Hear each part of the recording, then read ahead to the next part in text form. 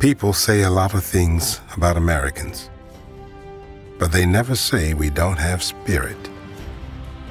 It's what makes us a country. It's what gives us courage to face impossible odds.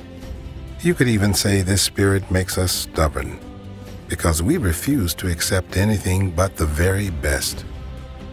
It's in coaches who nurture talent and parents who recognize potential.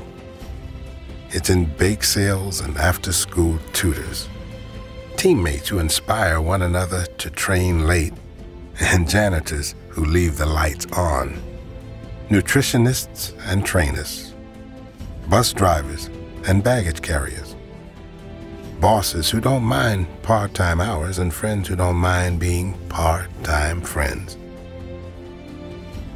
The thousands roaring from the stands and the millions cheering from home. See, our spirit doesn't just make us a country, it helps make our Olympians.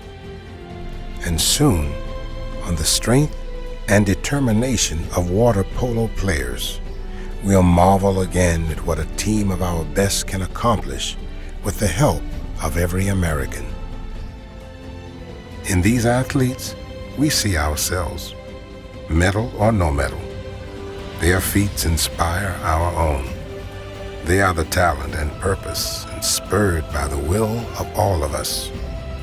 Because while we celebrate the Olympics every two years, we live the Olympic spirit every single day. We are the team behind the team.